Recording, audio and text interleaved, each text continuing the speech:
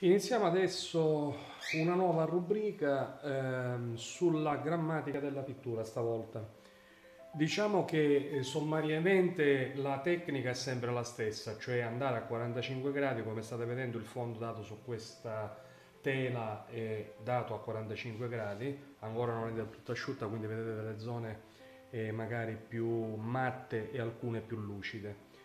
E ehm, con lo stesso sistema di come abbiamo disegnato, quindi nel caso precedente grammatica del disegno, questa è grammatica della pittura, incominciamo a schizzare delle composizioni con il pennello. Io vi consiglio di utilizzare colori a olio, così prendete direttamente dimestichezza con il metodo pittorico eh, diciamo più utilizzato anche se poi esiste l'acquarello, esiste la tempera, esiste l'acrilico, eccetera, eccetera.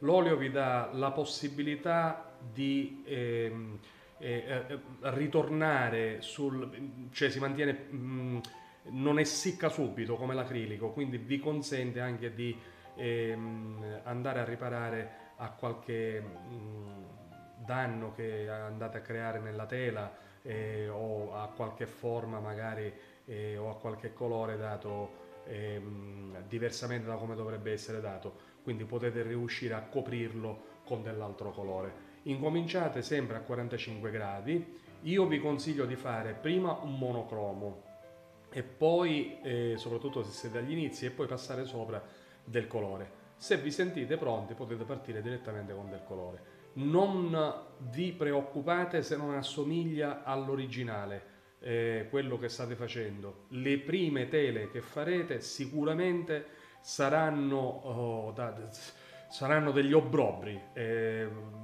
saranno diciamo delle esecuzioni eh, che non vi piaceranno, ma è normale perché all'inizio sarà così.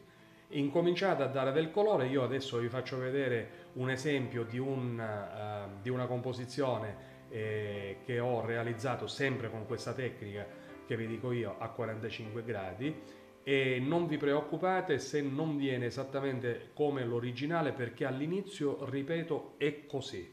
E, ehm, quindi non vi scoraggiate perché tutti siamo passati da questa strada e tutti abbiamo avuto eh, diciamo questa esperienza non tanto piacevole inizialmente.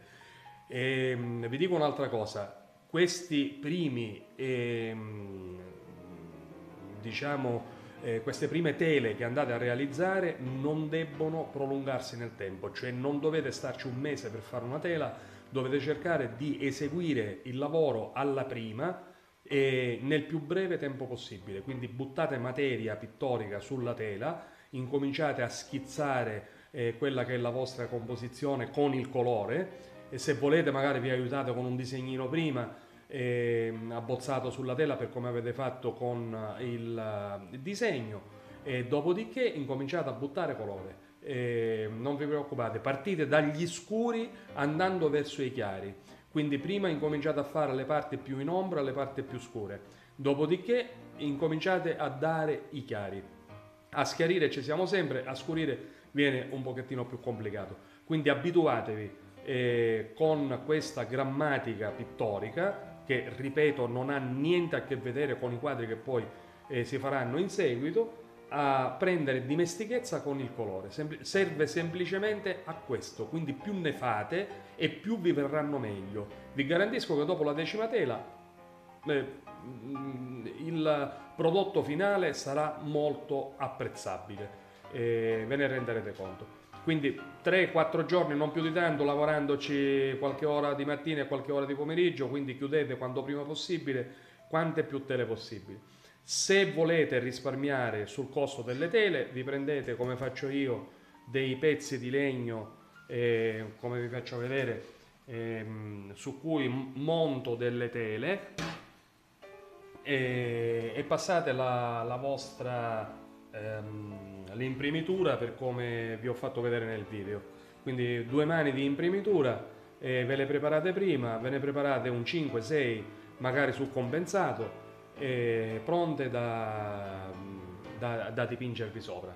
Io non ho altro da dirvi se non uh, di darvi l'appuntamento alla prossimo filmato dove vi farò vedere le prime esecuzioni.